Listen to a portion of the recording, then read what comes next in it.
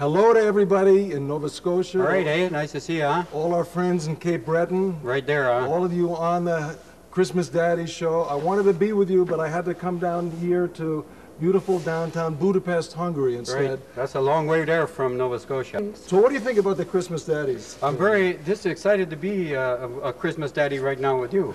I'm a Christmas daddy, you know. Yeah. I the, the thing every morning you open that present up and then boom, what is it? Legos. Oh yay! what am I going to be doing? Yes, toys for the compulsive. yeah, where you going? I don't have a number five. Please, Father, it won't work without that. That's what I'm saying there. Let go. Let go of Dad. Let go. That's why they named those toys. You know what this is for? You know what this this is thing to get uh, to get toys for the kids at Christmas. Toys for the kids at Christmas, yeah. All over Nova Scotia they wouldn't be having a Christmas unless we were screaming at the audience to send their money in so they can do it. Yeah, send your money in right now, eh? Make a pledge. Make a pledge. Just raise your right hand and put the other one in your in your wallet and get some cash out there. Do it.